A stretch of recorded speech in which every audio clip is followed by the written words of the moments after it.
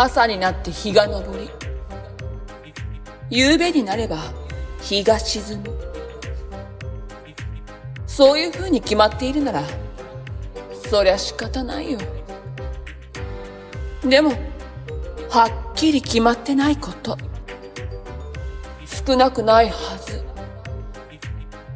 西へ行くか、東へ行くか、それとも南か、はたまた北か。